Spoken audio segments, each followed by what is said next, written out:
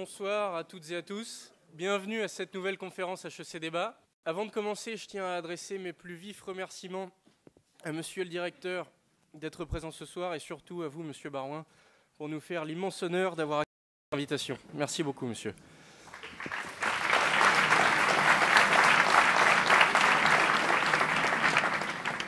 La conférence de ce soir sera divisée en trois parties. La première, un portrait réalisé par Kevin pour retracer dans les grandes lignes le parcours de M. Barouin.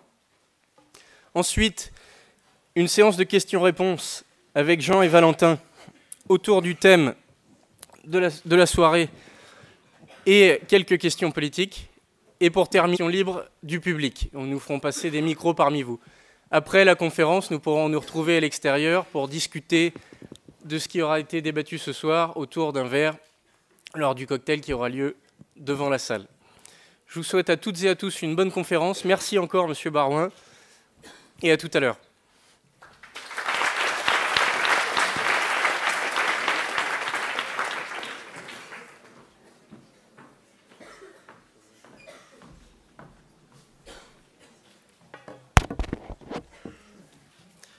Bonsoir tout le monde. Bonsoir François Barouin. Quel plaisir et quel privilège de vous après Jean-François Copé il y a deux semaines, nous accueillons un autre poids lourd de la politique française, un autre ténor de l'UMP. On vous nomme souvent l'éternel premier de la classe. Bien détonnant. À 24 ans, vous êtes conseiller municipal. 28 ans seulement, vous êtes député. Benjamin de l'Assemblée nationale, par ailleurs. À 30 ans, maire de Troyes. Déjà là, vous, avez de quoi remplir un CV complet, en fait. Alors que certains politiques prendraient leur retraite après avoir été élus député-maire, vous êtes encore au tout début de votre carrière. Devenez par la suite porte-parole de Jacques Chirac lors de sa campagne présidentielle de 95 et entrez en même temps dans le gouvernement Juppé. Oui, parce que Chirac vous fait confiance, il fait même de vous son protégé. Vous êtes considéré par beaucoup comme son fils spirituel. Et bon, inutile de préciser, une fois de plus, vous êtes le Benjamin du gouvernement en étant porte-parole de Alain Juppé. Par la suite, vous êtes, euh, vous êtes écarté de l'exécutif suite à un remaniement. On vous perd un petit peu de, vue dans ce cas-là. Vous n'êtes plus sur le radar politique. On se demande donc où vous êtes. Sans doute en train de vous adonner à votre passion, la pêche à la truite, sur les ruisseaux de la Creuse, ou encore au tennis par exemple. D'ailleurs, je profite de l'occasion pour euh, vous inviter samedi prochain à Roland Garros, où il y a euh, un tournoi organisé par HEC. J'ai essayé de vous inviter sur Facebook, mais j'ai vu que vous n'étiez pas très actif. Euh... Enfin bref. Votre vraie renaissance politique a lieu en 2005 dans le gouvernement de Dominique de Villepin, quand on vous nomme ministre de l'Outre-mer. Puis en 2007, pour remplacer le futur président Nicolas Sarkozy pendant cinq semaines aux manettes du ministère de l'Intérieur. On dira que ce sera un, passage éclair, au final, au ministère de l'Intérieur. Et jamais 203, vous êtes à nouveau le Benjamin des ministres. Il faut dire que votre relation avec Nicolas Sarkozy est pour le moins tendue. Tout vous oppose, le caractère, le tempérament, l'histoire. Vous êtes chiracien, monsieur et baladurien. Seule l'étiquette politique, au final, euh, vous rassemble. C'est pourtant à vous qui fera appel euh, en 2010 pour remplacer Eric Woerth au poste si convoité et parfois suicidaire en temps de crise que le ministère du Budget. Vous enchaînez avec le ministère de l'Économie et des Finances, où vous remplacez Christine Lagarde, fraîchement nommée au, FMI. C'est alors le Golden Age qui commence pour vous. Sarkozy vous fera de vous une star, en quelque sorte, en vous amenant euh, à tous les sommets internationaux. Vous allez rencontrer la, la, crème de la crème, si on peut le dire. Vous êtes quasiment omniprésent. Vous trinquez un soir avec Barack Obama, puis euh, vous apprenez le grec sur les bancs de la BCE aux côtés de Merkel ou Mario Draghi. Tout ça, vous connaissez. Vous avez tenu bon les cordons de la bourse à Bercy. Vous avez tenu bon les rênes lorsque le char de l'État naviguait sur le volcan de la crise de l'euro.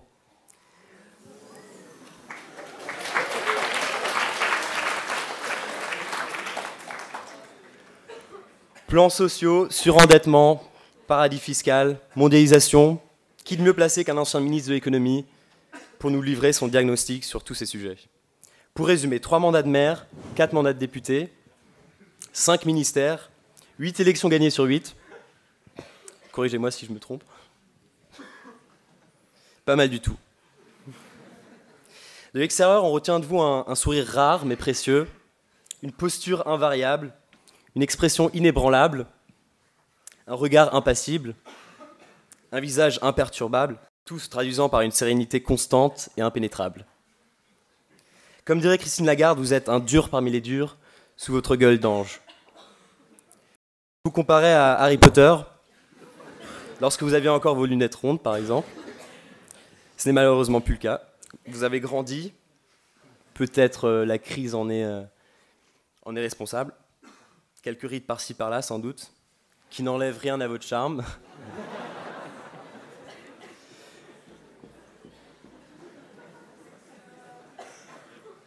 Vous donnez désormais l'image d'un sage.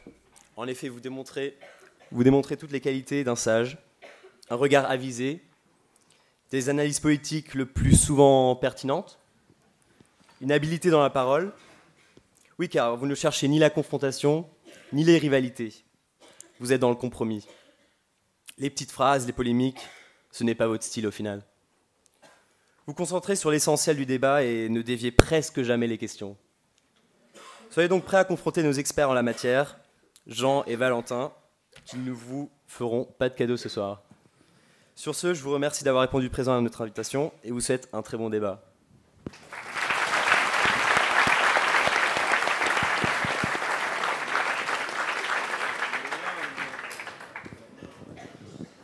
Euh, bonsoir Monsieur Barouin.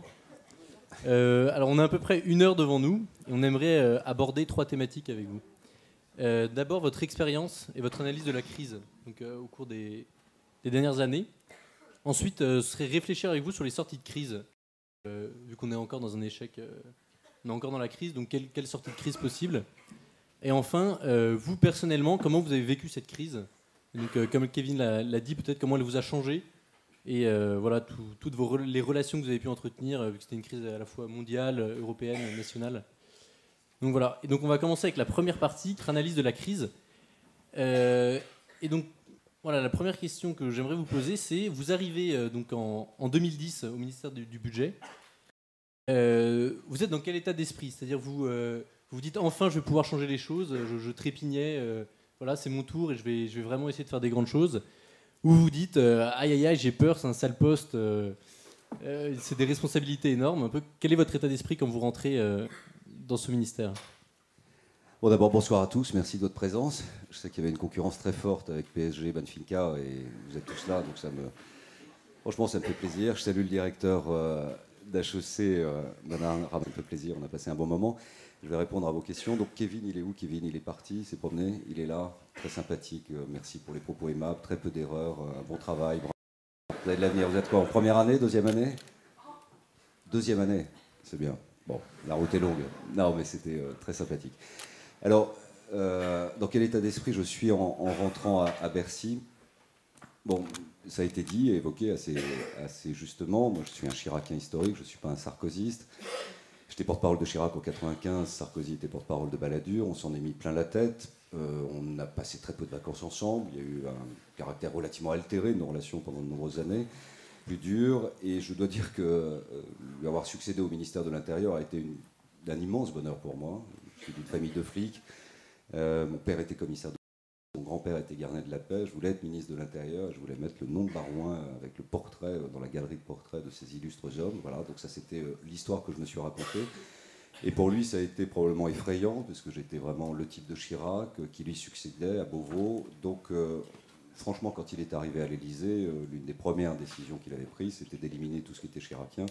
Et évidemment, euh, sur la cheminée, au premier rang, comme un bibelot, j'en faisais partie, donc euh, on a été éliminés. Donc pendant trois ans, on ne s'est pas parlé. On ne s'est pas parlé hein, avec le président de la République. On s'est vu une fois. J'ai pris des désaccords avec lui que j'avais exprimé publiquement sur la nomination du président de France Télévisions, sur le débat sur l'OTAN, sur le débat sur l'identité nationale. Et en fait, il m'appelle un vendredi euh, en disant il faut que je te vois. Et j'avais fait encore une déclaration un peu assassine. Et donc euh, je suis bon, il va m'engueuler. Donc j'appelle Guéant, qui est secrétaire général de l'Élysée, et je lui dis euh, Monsieur le secrétaire général, j'ai beaucoup de respect pour le président de la République, mais s'il m'appelle pour m'engueuler, il va perdre son temps, ça sert à rien, donc on va pas se voir. Il dit non, non, je ne crois pas, tout ça. Donc je revois Sarkozy alors qu'on ne s'est pas parlé pendant deux ans. Et il me dit, écoute, je fais un remaniement technique, vous ne serez pas nombreux, je le fais lundi, il faut rassembler la famille, on a bossé ensemble. Euh, je ne peux pas te dire où je te place, mais je te ferai une proposition. Et en fait, il me rappelle le dimanche, et les régionales viennent de tomber, on vient de perdre 20 régions sur 22, donc c'est quand même un score assez... Ah bon, on ne peut pas dire que c'était un triomphe exceptionnel euh, de la majorité de l'époque. Et il me dit, écoute, je te propose le budget. Donc je tombe un peu de l'armoire, parce qu'en général, le budget, comme le ministère de l'Intérieur, c'est un poste qu'on confie dans un gouvernement. Soit parce que l'intérieur, c'est la police, les services, l'information, soit parce que le budget, c'est évidemment les cordons de la bourse et c'est les arbitrages. Et j'ai trouvé très audacieux, courageux de la part de Nicolas Sarkozy d'offrir ce type de poste à quelqu'un qui ne lui était pas proche. Et je lui dis euh, quelle est ta priorité? Il me dit j'ai 30 milliards à trouver pour les retraites.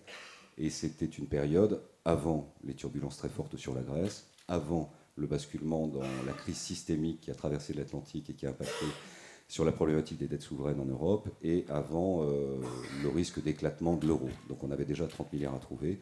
J'ai dit banco, ça s'est fait comme ça. Donc à votre question, est-ce que j'ai eu peur? Non, il ne faut pas avoir peur dans ce type de job. D'ailleurs, il faut avoir peur dans aucun type de job. Vous êtes l'élite française en construction, vous avez tous des super bonnes têtes, donc n'ayez peur de rien. Et si vous avez déjà réussi à chausser, c'est qu'au fond, euh, vous avez déjà euh, vaincu euh, toutes les peurs possibles des différents concours. Donc on ne peut pas avoir peur, il faut juste avoir le sens des responsabilités, bien mesurer un peu la tâche qu'on a à affronter, et ensuite avoir une méthode, des objectifs, un calendrier, s'y tenir, comprendre le fonctionnement d'un gouvernement, la loyauté auprès du président, du Premier ministre et, euh, le suivi des arbitrages. Mais vous pensez que le changement est possible à ce moment-là ou pas? Vous dites euh, redresser la courbe du chômage, euh, rembourser les dettes, tout ça, c'est dans votre tête, c'est faisable ou? Ah, il, faut, il faut se rappeler du, que Nicolas Sarkozy est élu en mai 2007 sur la base de la rupture, essentiellement un message personnel par texto adressé à Jacques Chirac.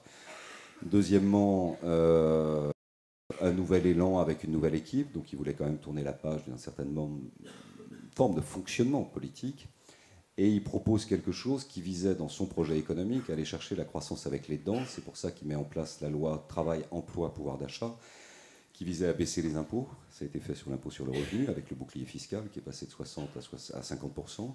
Ça a été fait pour partie sur l'impôt de solidarité sur la fortune. Il y a eu une baisse également sur l'ISF. Il y a eu la défiscalisation sur les 35 heures. Et donc son idée était vraiment de prendre des mesures économiques pour aller chercher une forme de libération à travers une baisse du coût du travail, contourner l'affaire des 35 heures et euh, se dire que la première année de son mandat serait celui-ci. Mais dès le mois d'août 2007, arrive la problématique des subprimes, ces crédits hypothécaires qui avaient été mis au point par des financiers américains, dont l'objectif, in fine, était à la fois de faire de la spéculation très rapide sur des schémas internationaux, mais en même temps de favoriser l'accès à la propriété pour la classe moyenne américaine, qui est le cœur du modèle économique américain.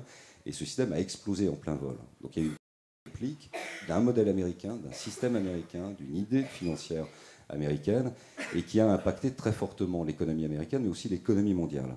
On pensait en être sorti, et Sarkozy le premier, comme tous les chefs d'État et de gouvernement de l'époque.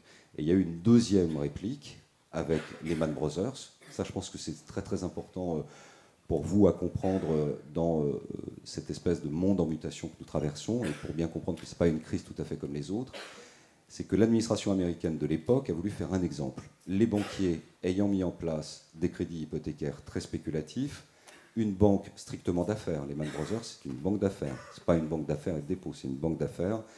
Euh, quatrième banque d'affaires américaine, très historique, mais juste banque d'affaires n'a plus les moyens de financer euh, ses liquidités, a besoin de la perfusion de la, euh, la Banque fédérale américaine, et l'administration américaine dit on va couper la perfusion. Cette banque tombe, et la banque tombant, tout le système bancaire s'est grippé, et tout le système bancaire s'est bloqué.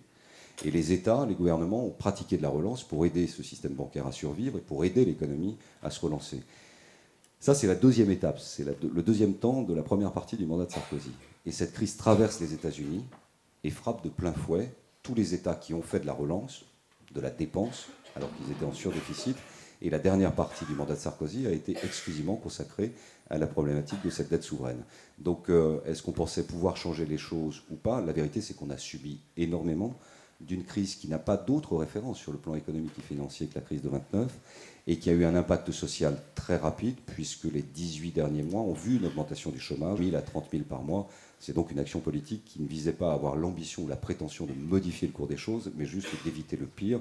Et éviter le pire, c'était l'explosion de l'Europe et les... Vu que visiblement vous ne partagez pas les mêmes opinions que Sarkozy, est-ce que vous aviez une vision différente du ministère du Budget et qui rentrait en conflit avec celle de Sarkozy quand vous êtes appelé en 2010 Non, j'ai eu des désaccords avec Sarkozy sur euh, le ministère de, l'immigration et l'identité nationale. J'ai eu des désaccords, comme je l'ai dit, sur euh, le débat sur l'identité nationale. J'ai eu des désaccords sur, comme je l'ai dit, la nomination par le président de la République en Conseil des ministres du président de la télé. Pour moi, la télé, c'était pas EDF, c'était pas la SNCF. Euh, la télé, c'est de l'information, des programmes. On n'a pas à nommer quelqu'un en Conseil des ministres. Donc j'ai eu des désaccords. Je n'en ai pas eu sur la politique économique. Au regard de l'histoire, les mesures qu'il avait prises dès 2007 apparaissent à contre-cycle. La baisse des impôts, la défiscalisation, le contournement des 35 heures, ça apparaît à contre-cycle. Parce qu'on a eu un effondrement des recettes, notamment sur l'IS, on a eu un effondrement des recettes de différents impôts. Mais euh, au regard de l'histoire, et j'espère qu'elle lui rendra raison, je pense que son leadership à la tête de l'Union européenne et la manière dont il a navigué avec Merkel pour sauver la Grèce et sauver donc la monnaie unique fait qu'il euh, aura une place euh, de ce point de vue considérable. Et si budgétaire, économique, de réforme structurelle, je n'aurais pas accepté le ministère du Budget. Vous avez parlé de, vos trois missions, en quelque sorte, de trouver 30 milliards de la crise des subprimes aux États-Unis et la crise de l'euro. Euh, deux à trois ans après votre entrée au ministère, quel bilan est-ce que vous pouvez faire? De votre travail, de votre passage bah, C'est toujours pareil. Quand, je me regarde, je me désole, et quand je me compare, je me console. Euh, on a perdu les élections, un nouveau gouvernement est en place. Et, vous comparez à qui? Je pense à personne. D'abord, je vois qu'il y a des appareils photo, ensuite il y a une caméra, donc ce qu'on dit peut éventuellement, peut éventuellement ne pas rester complètement entre nous même si, comme je ne vous connais pas, j'ai une totale confiance en vous et je sais que rien ne sortira d'ici. Euh, enfin bref, un fait est, on a perdu l'élection, un autre fait, il y a un nouveau ministre de l'économie et des finances. Je n'ai pas le sentiment que la situation soit euh, supérieure à celle que, nous avons laissée. Donc, euh, voilà, avec le recul, je, me dis que je me dis qu'on a évité le pire, qu'on est passé vraiment à ça d'une catastrophe tragique sur le plan économique, sur le plan social et même sur le plan de la, façon de vivre ensemble. Je suis relativement fier d'avoir contribué aux côtés de Sarkozy euh, dans les négociations internationales quand la France présidait le G20 à créer les conditions euh, d'une piste d'atterrissage qui s'appelle le traité budgétaire, c'est-à-dire faire partager par tous les gouvernements l'équité de ne plus avoir de déficit en 2016, 2017 et 2018. Parce qu'on s'est aperçu que euh, trop de déficit et trop d'endettement était un élément qui étouffait, qui sclérosait la croissance économique, l'augmentation de la richesse nationale. Le regret que j'ai, mais il est postérieur, on ne le savait pas à l'époque, c'est que nous avions travaillé avec des experts du FMI, de la Commission de Bruxelles, sur cette problématique essentielle de la réduction de déficit et de l'impact sur la croissance. Et on a travaillé sur des matrices avec le taux d'élasticité que vous... Enfin, il y a des taux d'élasticité dans tous les domaines. il y en a un en finances publiques qui est très important. C'est-à-dire, qu'est-ce que j'accepte comme sacrifice si je réduis mes déficits? Et nous, on avait travaillé sur on doit être à 3% en 2013. Pourquoi? Parce que les marchés financiers exigeaient ce rendez-vous très rapide pour montrer une ligne rigoureuse d'austérité, de réduction de dépenses et de déficit. Et donc pour atteindre 3% en 2013, quand on est en 2010-2011, on avait 40 milliards à trouver la première année et on avait encore une trentaine de milliards à trouver la deuxième année. Et ce sont les experts du FMI qui l'ont emporté dans nos arbitrages politiques. Et ils nous avaient dit à l'époque, si vous baissez vos déficits d'un pour cent, vous acceptez une chute de croissance d'un pour cent. C'est un choix politique très lourd. Un point de, croissance, c'est 20 milliards. Et on a dit banco, euh, parce qu'il fallait réduire les déficits. Donc on a accepté le sacrifice de croissance. Et il y a huit mois, ils ont sorti leur matrice, ils ont fait travailler leurs ordinateurs, et en réalité, quand on a baissé d'un pour cent les déficits publics, il y a eu un impact sur la croissance d'1,6%. 0,6 points de PIB, ça fait 12 milliards. 12 milliards, c'est un ou deux plans de rigueur que nous avons portés et que nous aurions pu éviter, avec éventuellement derrière les conséquences politiques. Voilà, mais je peux le dire aujourd'hui, je ne le savais pas à l'époque, il ne le savait pas non plus, mais on voit bien que dans, l'évolution de la nature de cette crise, euh, qui est très rapide, euh, les modèles économiques, les logiciels et les, les, modèles mathématiques sur lesquels nous avons travaillé probablement n'ont pas tenu compte du caractère mondialisé de l'économie et de l'effort collectif porté par tous les gouvernements de réduction déficit qui avait un impact direct et très puissant sur la croissance. Et d'ailleurs, c'est assez singulier d'observer, puisque vous êtes passionné d'actualité, vous avez pu observer qu'on a donné deux ans de plus à la France. On a donné deux ans de plus à la France. Ça devait être 3% en 2013, ça va être 3% en 2015. C'est énorme. Deux ans de plus sur le plan Tout simplement parce que et le FMI et la Commission de Bruxelles ont changé leur doctrine en la matière. Moins de rigueur, moins d'austérité. Ça ne veut pas dire qu'on dévie de la trajectoire de, de l'équilibre, mais ça veut tout simplement dire qu'il euh, faut y aller à un rythme un peu plus faible vous nous dites euh, donc, euh, que vous aviez beaucoup subi des impacts extérieurs durant votre ministère. Vous parlez de mondialisation. Est-ce que quand on est ministre de l'économie ou du budget aujourd'hui, on peut encore penser à un État volontariste qui va essayer de, mettre en place une politique avec un cap, une vision long terme Ou est-ce qu'il s'agit uniquement de courir au plus urgent et de, de, faire, enfin de, d'essayer de, voilà, quoi, de courir au plus urgent face à toutes les crises qui vous attaquent de l'extérieur nous, on a vécu sous un stress énorme, un stress euh, financier. L'été 2011, je, le raconte dans ce livre, Journal de crise, parce que voilà, je, pense que le rôle des politiques, c'est aussi transmettre l'expérience. Et s'il en reste un peu quelque chose euh, dans quelques, quelques esprits, euh, ça permettra peut-être d'éviter de commettre des, immenses responsabilités. C'est vous qui allez diriger le pays et l'économie mondiale dans quelques années. Donc il faut bien voir ce qui s'est... je ne le dis pas parce que là que je l'aime beaucoup. Hein. Je le dis parce que c'est vrai et qu'on est dans une économie mondiale, que vous allez, vous n'êtes pas énormément par promo et que vous allez irriguer toute l'économie mondiale.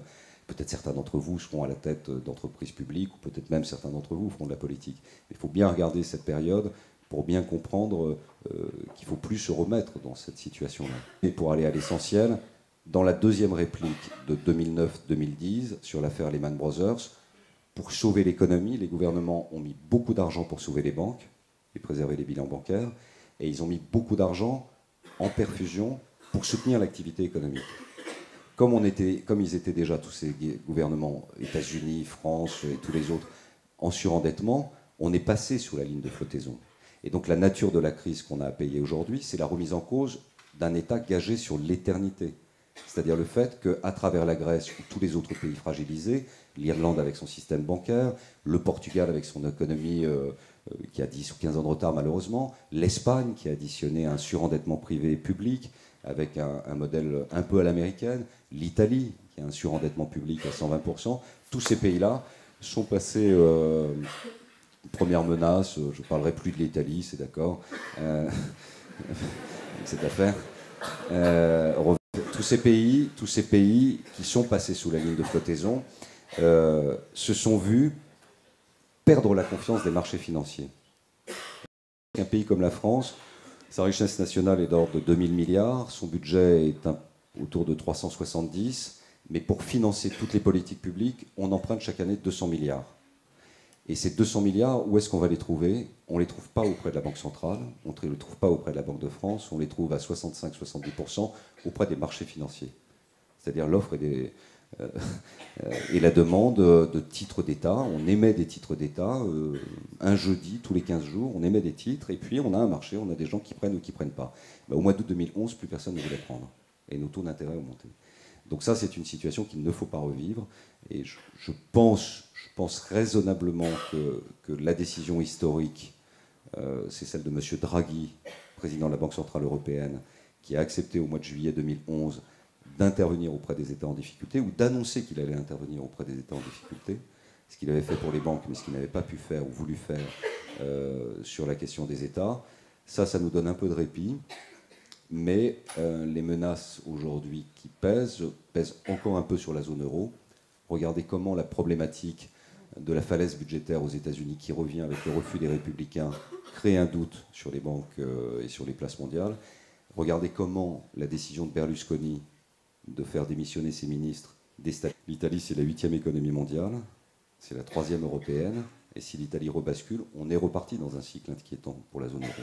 Il y a une troisième menace qui existe, me semble c'est que pour sauver l'économie, il y a eu beaucoup de liquidités de la part des banques euh, centrales, américaines et, européennes. Et là, il y a un petit risque obligataire. Et il y a un quatrième risque, une quatrième menace qui existe. Aujourd'hui, elle est politique. C'est la poussée des populismes partout en Europe, qui notamment au mois de mai prochain, si vous avez un truc à 20, 25 ou 30 qui se signale un peu partout, là, les marchés peuvent se dire il y a à nouveau un risque de remise en cause de la politique européenne, de l'intégration européenne, donc de la solidité de notre monnaie européenne.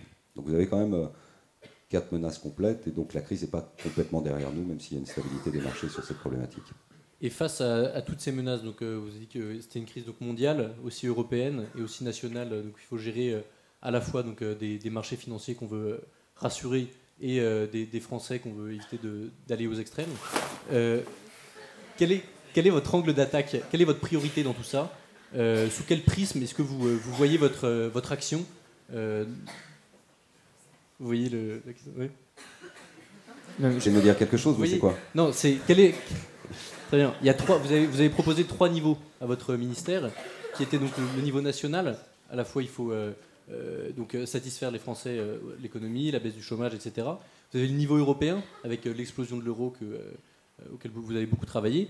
Et enfin, vous avez le niveau mondial avec une crise voilà, qui a eu des répercussions mondiales et qui pose des questions à cette échelle-là ma question est la suivante. Quelle est votre, votre priorité? Quel est votre angle d'attaque avec lequel vous abordez votre ministère?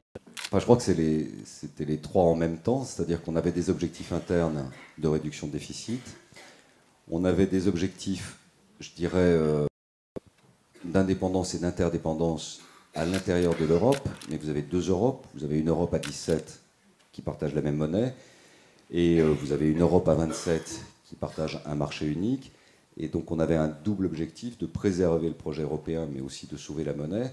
Et puis la partie mondiale, on est très largement dépendant. Euh, l'économie américaine s'est ralentie dans des conditions euh, très importantes. Je veux rappeler quand même les chiffres. Hein. En 2009-2010, euh, l'Allemagne est en récession à moins 4,7. Nous, on doit être à moins de 8, moins de 9. Les États-Unis doivent être à moins 3. On a eu un effondrement de mémoire des recettes de l'impôt sur les sociétés en trois mois d'une vingtaine de milliards vous avez un point de pipe qui disparaisse comme ça en trois mois de réduction d'activité, c'est-à-dire que euh, tout était complètement bloqué et gelé. Euh, les Chinois commençaient à, se poser la question de savoir si, à travers leur fonds de pension, ils continuaient d'acheter des titres de pays européens. C'est quand même une affaire sérieuse, quoi, hein, tout ça. Donc, euh, il y avait tout à faire. Si on L'un ne s'oppose pas à l'autre. Enfin... Si, un peu. Quand vous avez... Il y a une hiérarchisation à faire, quand même. Bah, quel est le rôle du ministre du Budget? Euh, de préparer le budget, c'est-à-dire de faire euh, de fixer un objectif. En l'occurrence, il était assez simple. Il fallait 40 milliards pour réduire les déficits de 8,2 à je ne sais plus quoi, 6,5 euh, ou 6,9 de déficit. Donc 40 milliards à trouver. Après, quand vous êtes aux manettes, voilà, vous avez des impôts, des taxes, des cotisations obligatoires. Donc ça vous donne une idée des prélèvements obligatoires. Ensuite, vous avez trois sources de dépenses. Donc dans les sources de dépenses, vous avez l'État, vous avez les collectivités locales et vous avez les sécurités sociales. La source de dépenses de l'État, que vous l'ayez en tête, on parle beaucoup des réductions de l'État, des effectifs, des dépenses, etc. La France est 9e dans le classement euh, européen. Donc euh, il y a encore de la place pour faire des économies, mais ce n'est pas là où la source est la plus importante. La deuxième source, c'est le transfert des dotations de l'État aux collectivités locales. Vous avez en moyenne 55 milliards qui passent des caisses de l'État vers les collectivités locales c'est pour financer les politiques publiques euh, de fonctionnement. Euh, bref, c'est tout ce type de transfert. Il y a un peu de marge, euh, on peut faire un milliard, un milliard et demi tous les deux ans peut-être de réduction de transfert, mais la troisième source c'était sur la sécurité sociale. Et là, politiquement, vous êtes dans des arbitrages qui sont très lourds. Quand on, on parle de la sécurité sociale, c'est la réforme des retraites, c'est la politique de la famille, donc ce sont les avantages fiscaux, les parts fiscales pour les familles qui ont plus de trois enfants, ou ce genre de choses. La politique euh, de santé également. Donc là, vous avez la politique de santé à travers euh, la politique euh, de santé publique, les hôpitaux. c'est la question des 35 heures, c'est le poste de financement des médicaments, c'est l'organisation générale de ce temps de travail. En général, sur la santé publique, c'est la question des déremboursements. Qu'est-ce que vous touchez? Qu'est-ce que vous ne touchez pas? Je prends un exemple, le débat qu'il y a eu il y a 15 jours sur, euh, voilà, il faut faire X% d'économie, 0,3 ou 0,4% sur l'objectif des dépenses d'assurance maladie. Et il y a eu un débat sur est-ce que c'est l'aspartame, Est-ce que c'est toute une série d'autres médicaments Et puis la semaine dernière, il y a 10 jours, euh, est-ce que c'est le déremboursement des lunettes Alors au passage, hein, je le dis, euh, je ne me suis pas fait opérer, j'ai découvert la Lune, j'ai pris des lentilles. Ça m'a permis de sortir d'Harry Potter, euh, mais j'ai pas complètement réglé l'affaire. Enfin bref, donc le déremboursement des, lunettes, oui, c'est une vraie question. et immédiatement, quand ils sont aperçus que c'était quand même très largement impopulaire, euh, dès le lendemain, le gouvernement a dit non. Donc vous voyez, c'est des arbitrages assez subtils et c'est compliqué en interne. Mais en gros, et pour résumer, le travail du ministre du Budget, c'est de trouver le juste équilibre entre la pression fiscale et l'effort en matière de dépenses. Simplement, la France est un pays très particulier. On est aujourd'hui numéro un en tout prélèvement obligatoire et on est numéro de dépenses publiques par rapport à notre richesse nationale. Ça veut dire qu'on a de la marge et en réduction d'impôts. On n'en a plus en tout cas en augmentation de la pression fiscale, ça c'est clair. Et on a de la marge en réduction de la dépense publique. Mais après, c'est une question très politique. Quel modèle on veut pour vivre en France? Et cette question, elle arrive sur l'État-providence, la solidarité, la sécurité sociale et même le financement des retraites d'ailleurs. Justement, dans ce dilemme entre augmenter la pression fiscale ou alors réduire les dépenses publiques de l'État, vous vous situez où exactement? Moi, je, pense que sur les impôts euh, à 46% de prélèvement obligatoire, euh, c'est intenable.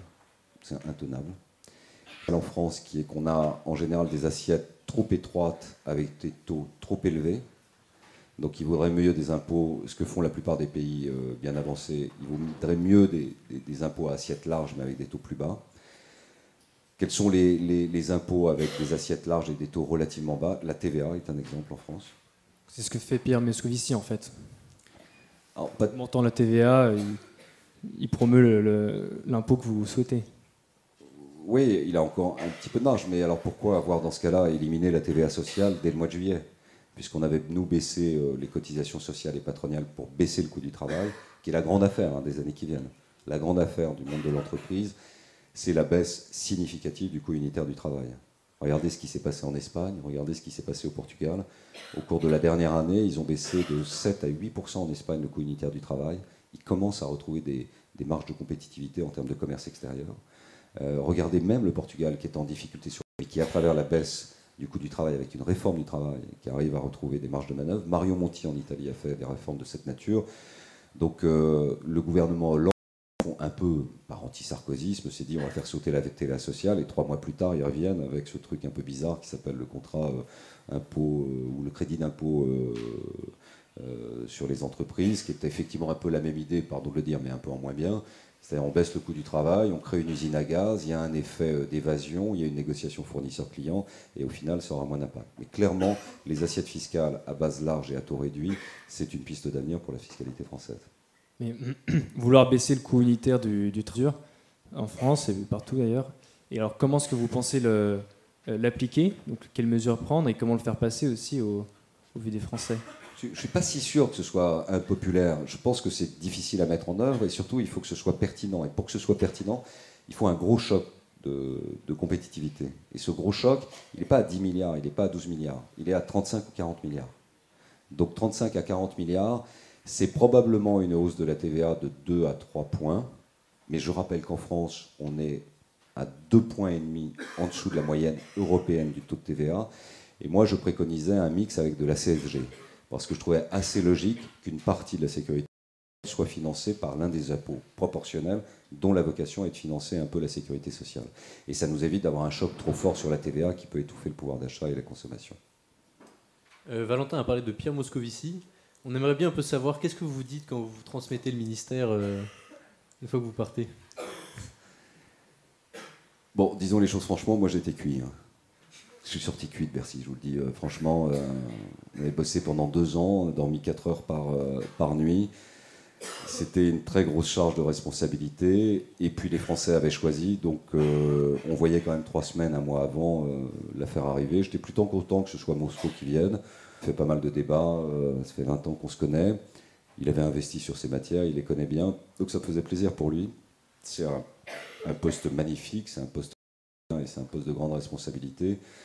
Donc qu'est-ce qu'on s'est dit? Il y a l'entretien dans le bureau, où en fait on donne une petite note plus ou moins préparée par le Trésor, et puis après selon la confiance qu'on a avec son successeur, évidemment quand c'est des changements de bord politique c'est relativement limité, mais on se connaissait suffisamment avec Moscovici pour se dire les choses. Donc je lui ai dit oui, je pense qu'il faut que tu bosses sur le coût du travail et je pense que sur la question des déficits, il faudra un peu courageux. Et il n'y avait pas encore Draghi qui avait pris sa décision sur la Banque Centrale Européenne, donc il y avait encore une très très grosse interrogation sur les taux d'intérêt espagnols et italiens. Euh, et puis après, je lui ai dit euh, bonne chance. Et, et donc lui, il en a pris plein la tête. Et moi, j'ai pu préparer ma campagne législative. Après, j'ai pris un mois et demi de vacances. Et j'étais très content. Mais il y, a quelque chose qui nous a un peu étonné quand même en, préparant l'interview. Euh, c'est-à-dire qu'on allait un peu regarder ce que vous aviez dit sur des plateaux de télévision récemment. Et chez Zemmour et Nolo, notamment, vous expliquez qu'en fait, votre politique et la politique de Moscovici, c'est exactement la même chose sur le fond, et c'est juste une petite édulcoration, euh, c'est-à-dire euh, eux ils vont faire 75% de taxes sur les riches et euh, vous vous allez être un peu pro-entrepreneur et que sur le fond c'est exactement la même chose. Non, le cadre est, inchangé. Enfin, le cadre est inchangé. À l'époque, il l'était au moment de la passation de pouvoir. Il fallait faire 3% de déficit en 2013 et il fallait arriver à l'équilibre structurel en 2017. 2017, c'est-à-dire 0% de déficit. La France est un pays qui produit plus de dépenses qu'elle n'a de recettes, que ce soit en période de croissance à 1,5, 1,7 et a fortiori en période de récession avec une croissance à 0,1, 0,5. Donc on a un déficit structurel qui est très élevé. C'est d'ailleurs le cadre, il est général. Voilà, quand vous devez passer de, 4,6% à 3% de déficit, vous avez, euh, allez, une trentaine qui s'appelle Moscovici, Barouin ou un autre, il doit les trouver. Alors après, est-ce qu'il fait sur les impôts, est-ce qu'il fait sur les dépenses? Oui, nous on avait imaginé quelque chose qui s'appelait euh, la révision générale des politiques publiques et qui s'appelait euh, le 1 sur 2, c'est-à-dire le non-remplacement d'un fonctionnaire sur deux partant à la retraite. Ça, c'était une source d'économie. Mais quand une des premières mesures de ce gouvernement en place a été de constituer 60 000 postes dans l'enseignement supérieur, ben, je dis que c'est à contresens, c'est qu'il n'y a pas un gouvernement de crise euh, aujourd'hui en Europe qui a proposé, pour répondre à la crise et réduire ses déficits, la création de postes de fonctionnaires. Un poste de fonctionnaire, c'est euh, en emploi budgétaire. Hein. je ne dis pas ce que ça rapporte en prestations de services publics ou autres. C'est entre 1,5 million et 1,3 million d'euros sur un cycle de vie. Le jeune fonctionnaire arrive, il a 25 ans, il fait 40 ans, il part à 61, 62 ans, ou un peu plus tard dans quelques années, il a encore 20 ans à vivre. Voilà, c'est une charge budgétaire. Quand vous en embauchez 60 000, vous arrivez à 110, 115 milliards, c'est-à-dire que vous avez une charge budgétaire de 115 milliards pour l'ensemble du cycle de l'État français, sur la seule décision d'avoir créé 60 000 emplois de fonctionnaires. C'est une décision lourde. Donc ça, nous ne l'avons pas fait, nous avons fait le contraire. Rance avec Moscovici. Par ailleurs, il tweet un peu plus, euh, sa copine met un peu plus de photos et... Euh, euh, et, il vous appelle un peu des conseils ou pas? Non, non, c'est quand même un métier où il y a beaucoup d'orgueil et pas mal d'ego, donc j'accepterais mal de lui répondre et je suppose que ce serait difficile pour lui de prendre son téléphone et de demander des conseils. En revanche, je crois, c'est plutôt sympathique. Dans les débats à l'Assemblée, on s'en met plein la tête, mais il y a une part quand même de, théâtre dans tout ça. Et pensez-vous qu'il n'y a qu'une seule manière d'être ministre des Finances, du coup? Oui, bien sûr, la mienne. Alors ça, c'est le caractère très attachant de ma personnalité, c'est-à-dire ma modestie qui irradie un peu tout le monde. Tout à fait. Et euh, je ne sais pas, ça je, crois vraiment... Par exemple, en, droit constitutionnel, on posait souvent la question, euh, euh, au fond, quelle est la bonne constitution? Et c'est Solon, qui était un sage juriste et qui d'ailleurs a l'une de ses statues dans l'hémicycle à l'Assemblée, et qui avait dit à la question quelle est la meilleure constitution, grand sage, il avait dit dites-moi d'abord quel peuple et à quelle époque. Euh, je pense que sur le, plan, euh, sur le plan de la méthode, c'est à peu près la même chose pour des ministres des Finances. Je pense en revanche que la période que nous venons de traverser doit être euh, riche d'enseignements. Dans ces enseignements, le zéro déficit public doit être désormais inscrit dans le marbre de toute politique publique, qu'elle soit tenue par un gouvernement de gauche ou de droite. Le coût du travail, les réformes de structure font partie des objectifs prioritaires d'un pays comme la France. La France aujourd'hui, avec l'Italie, est lue par les marchés comme les deux pays aujourd'hui qui ne s'appuient pas sur la crise pour se réformer. Et ce n'est pas une critique sur Hollande, mais c'est un fait. Et enfin, euh, démographique, c'est-à-dire la problématique du financement du système de retraite est une problématique qui s'impose aujourd'hui à peu près à tous les pays, puisque c'est un élément qui me beaucoup d'argent, aussi bien dans le système solidaire par répartition que, que dans la garantie que l'État peut apporter. Alors on vous a aussi, on vous a toujours écouté sur les plateaux télévisés, puis on vous a entendu dire aussi un jour, euh, Hollande a fait en trois mois ce que Mitterrand a fait en deux ans. Alors pensez-vous que justement, quelle est votre vision du, quel est le, bilan de la politique économique actuelle? Est-ce qu'il n'y a qu'une seule manière de diriger? C'est une catastrophe. Hein. Il est en train d'explorer euh, des fonds de pétrole de l'opinion publique, c'est-à-dire qu'il est quand même à 23% en 15 mois, euh, ce qui est assez rare. J'aime bien Hollande, hein, je le dis franchement, dire, il est malin, en plus euh, c'est un HEC, donc je m'incline avec respect au caractère titulaire, et, j'imagine que c'est un élément de fierté pour vous. Il est notre président de la République. Non, mais je me dis bien qu'il y a peut-être dans la salle des gens qui ont voté Hollande en plus. parce que moi, je n'en rencontre plus, mais peut-être qu'ici, quand même, il y en a eu. Bref, euh, pourquoi j'ai dit qu'il a fait en trois mois ce que Mitterrand avait fait en deux ans? Parce qu'au fond, il a tourné le dos à ses engagements de campagne. Il fait une campagne très maligne de son point de vue, puisqu'il a gagné le pouvoir, mais qui a visé à, cristalliser une majorité de rencontres sur un anti-sarkozysme primaire. C'est-à-dire, en gros, il n'y avait pas de crise mondiale, le problème c'était Sarkozy. En gros, le problème du chômage c'était Sarkozy. En gros, le problème économique, budgétaire européen, la Grèce c'était Sarkozy. Je veux quand même rappeler les chiffres, juste pour les avoir en tête au fond, parce que comme disait Sacha Guitry, il faut toujours dire du bien de soi, après ça se répète, et ensuite on ne sait plus d'où ça vient. Donc de telle sorte qu'à la fin de cette réunion, quand vous aurez regardé la prolongation ou pas, non d'ailleurs, parce que c'est un match de poule entre PSG et Benfica, vous aurez oublié que c'est moi qui vous l'ai dit, et, euh, et, vous aurez juste retenu les trois chiffres que je vais vous citer. Pendant la période Sarkozy, la dette a augmenté de 20%. C'est vrai, on l'assume. Mais pendant la période Sarkozy, la, la, dette américaine, et que je sache Sarkozy n'était pas à la Maison Blanche, a augmenté de 29%. Et pendant la même période à Londres, où Sarkozy n'était pas le chef du gouvernement, elle a augmenté de 40%. Donc il s'est bien passé quelque chose dans toutes ces économies. Ce quelque chose, ce n'était pas Sarkozy, comme le dénonçait Hollande. C'était euh, la réalité de la nature de cette crise. Hollande a été assez malin pour aller d'Eva Jolie, euh, dont la grande nouveauté de la campagne avait été de changer de couleur de lunettes, et elle est passée du rouge au vert ou du vert au rouge, je ne m'en souviens plus trop. Ensuite, Mélenchon, alors qu'il lui avait comme idée absolument géniale pour favoriser la paix sociale et la fraternité universelle, selon son hymne international, euh, de dire que lorsque vous voyez un riche qui tripoche, euh, ce qui crée un caractère évidemment convivial là aussi euh, de la paix et de la, vie en commun, et puis avec des Montebourg ou ce genre de malheureusement de, fantaisie en termes de, politique publique où il voulait démondialiser le monde. C'est quand même une drôle d'idée, quoi, tous ces projets. comment on peut lutter contre une évidence? Même le meilleur des avocats plaidera les circonstances atténuantes. Euh, bah, même Montebourg, il peut considérer que la France est en Europe, l'Europe est dans le monde et qu'il y a une compétition internationale et que l'économie est une économie de marché. Et que la réponse, elle ne passe pas par une économie administrée qui ne fait fuir que les capitaux, les investissements. Quel est celui d'entre vous ou celle d'entre vous qui va rester en France avec une politique fiscale qui, pour les jeunes créateurs, vous met un chapeau bas à hauteur de 65%, euh, crée des dispositifs tellement étriqués, donc il y a une ambiance générale. Donc quand je dis Hollande a fait en trois mois ce que Mitterrand a fait en deux ans, Mitterrand, il voulait changer la vie. Et il lui a fallu deux ans pour changer d'avis. Euh. Mais Mitterrand, il avait. Euh, c'était le franc. Il y avait une inflation à deux chiffres. Il y avait des taux d'intérêt à deux chiffres. Et ils allaient dans le mur, puisqu'ils avaient une politique de relance donc, euh, et, de la dépense publique, de la création de postes de fonctionnaires. Donc en 83, parce que Rocard et parce que Delors, sociodémocrate, qui avait une certaine connaissance de ces évolutions, a dit attention, danger. Qu'est-ce qui s'est passé Qu'a fait Mitterrand? Euh, il a été obligé d'envoyer les policiers à Rungis pour euh, bien s'assurer que le blocage des prix était effectué. C'est ça la politique de rigueur. Et on est rentré dans une politique de rigueur. Ben, Hollande, il a fait une politique de rigueur sans l'assumer. C'est à l'origine de l'évolution. La seule décision importante, je le redis, c'est la troisième fois, c'est le président de la Banque Centrale Européenne qui a pris la décision historique de mettre en minorité le président de la Bundesbank au Conseil des gouverneurs de la BCE.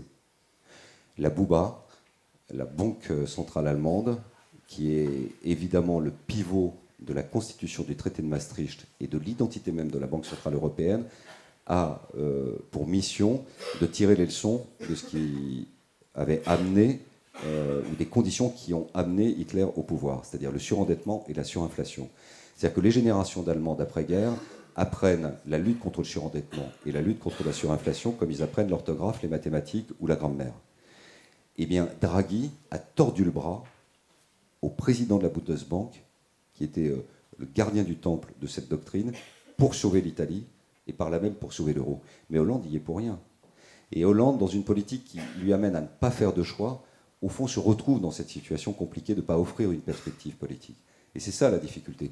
Je passe sur euh, euh, l'amateurisme du gouvernement, quand même le caractère très surprenant tous les week-ends de ce théâtre de vaudeville où il y en a un qui claque la porte et l'autre qui rentre par la fenêtre. Euh, en l'occurrence, Val, c'est du flot.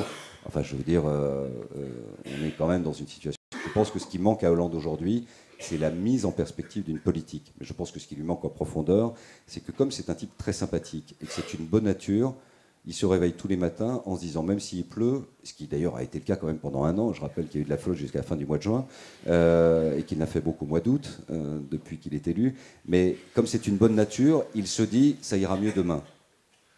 Voilà. Le problème, c'est que je pense que la période ne permet pas, ne supporte pas un leadership qui se contente le matin quand il se réveille, ça ira mieux demain. Je pense qu'il faut appréhender la problématique française, européenne et internationale de manière beaucoup plus risquée peut-être, mais en tout cas beaucoup moins passive. Et c'est ça qui lui manque profondément aujourd'hui. J'ai cassé l'ambiance là. bon, on va passer à la, à la deuxième partie. Oui, maintenant on aimerait réfléchir un peu aux différentes possibilités de sortie de crise. Donc vous parlez de la perspective que doit avoir Hollande pour, euh, pour aller de l'avant. Justement, quand on, quand on remarque l'absence de diversité dans les politiques économiques, budgétaires entre la droite et la gauche, si vous ne pensez pas que vous faites les jeux des, des partis extrêmes, qui au fond, eux, du coup, vont proposer des solutions radicalement opposées et vont attirer euh, pas mal beaucoup d'électeurs français Non, mais j'aurais cru cette affaire. On n'a pas on est opposant avec euh, les sociodémocrates. Euh, on n'a pas tout à fait la même politique. On a des objectifs communs, mais qui sont imposés par la crise et le cadre européen, j'y reviens. Mais, mais en revanche, la manière d'y arriver un peu différente. Je l'ai dit sur les dépenses publiques. Ils ont remis en cause le 1 sur 2 qui fait des économies, puisque la moitié des dépenses de l'État sont des, dépenses de personnel dans la partie fonctionnement. Et le reste, ils ont à peu près repris, c'est vrai, le grand emprunt, les financements d'avenir, la réforme des universités. Mais quand même, sur les choix, ils ont des choix de, fiscalité qui sont plus lourds, ils tapent plus large.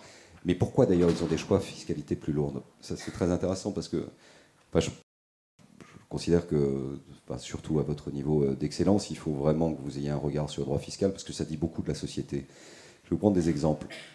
L'impôt sur le revenu, vous avez 36 millions de foyers fiscaux, vous n'avez que 18 millions qui payent. Et sur les 18 millions, vous n'avez que 500 000 personnes qui représentent 45% de la somme globale chaque année versée à l'impôt sur le revenu. Je ne sais pas si je suis clair, mais l'impôt sur le revenu, ça rapporte 55 à 60 milliards. Eh bien, vous avez 500 000 personnes seulement en France qui euh, produisent 30 milliards. Le reste, c'est produit par les 18 millions moins les 500 000, et tous les autres sont exonérés. Vous rajoutez à cela toute génération sur les impôts locaux. En moyenne, dans toutes les villes, une sociologie à peu près traditionnelle, c'est 55% de foyers qui ne payent pas d'impôts locaux. Donc euh, vous voyez bien que dans la structure de la société française, c'est une petite minorité qui paye la fiscalité euh, directe et, progressive. Et vous avez derrière cela beaucoup de niches, et vous avez derrière cela euh, beaucoup de possibilités d'échapper à l'impôt. Donc quand on est un gouvernement de gauche, on n'a aucun état d'âme à taper sur l'impôt sur le revenu, à taper sur l'impôt de solidarité sur la fortune, ou faire une tranche supplémentaire d'impôt sur le revenu comme ils l'ont fait à 45%, ou faire la stupidité, pardon de le dire, des 75%.